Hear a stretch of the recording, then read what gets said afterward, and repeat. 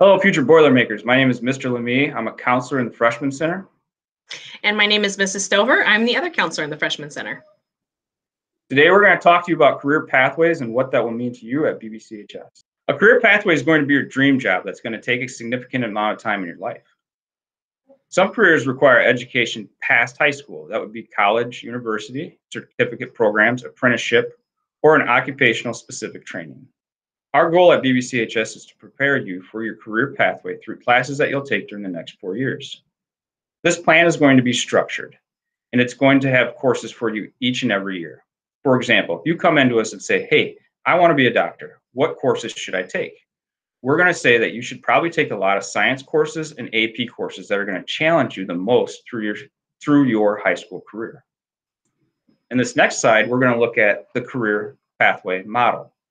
Each of these pathways in the middle is a cluster. We have arts and communication, we have business management, health and medicine, human services, and science and technology. If you were wanting to go into an engineering field, you would look at the science and technology field. If you wanted to be a doctor, that would be health and medicine. If you wanted to go into business, we'd look at business management. If you were in performing arts, we would go to arts and communication. If you wanted to be a social worker or a teacher, we'd look at human services. Our next slide is going to look at specific programs of study.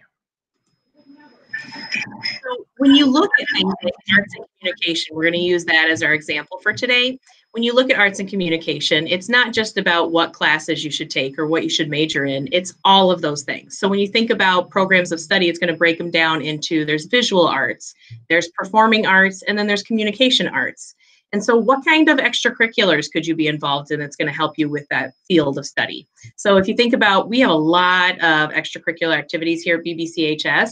So, for each one of these categories, it's going to give you some examples of things that you could get involved with here in school that's really going to pique your interest and see if it's a career that you really want to keep going with. And so, looking at that, there's also things like example majors. So, if I study this career pathway in high school, what kinds of majors could I do in college? And then even from there, what kinds of careers could I have with those given majors? So it's really an all encompassing thing that tries to show you what you can be looking at overall to achieve the goal that you're looking to achieve.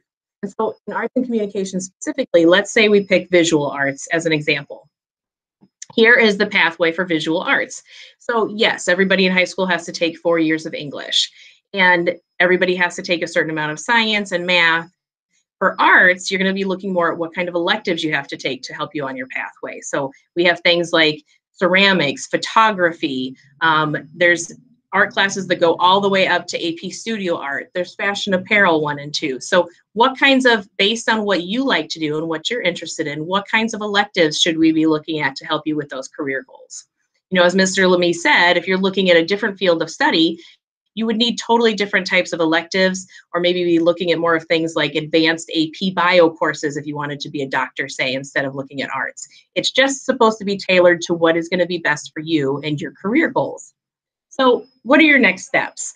What we mean by this is not to pressure you or tell you that at this moment in time you need to know the job that you want to do for the rest of your life.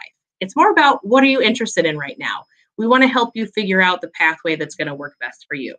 So, your first step should be doing some research. You know, if you've always wanted to be a teacher, look into being a teacher. What kind of education does it require, first of all? You know, sometimes I talk to students and they don't want to go to college for eight years. And if there's majors that require a PhD, you're going to have to go to college for at least eight years. So looking at things like that are important. Also, how much does it pay? You know, when you look at salaries, you have to make sure that your lifestyle will be comfortable with the salary that you're making. And then what is the job outlook? Meaning, are there going to be openings in that job? Some careers have become obsolete in the world that we live in now, and some careers are booming. So, figuring out if that career is going to be one that has job openings for you when you graduate from college is going to be really important in that job search.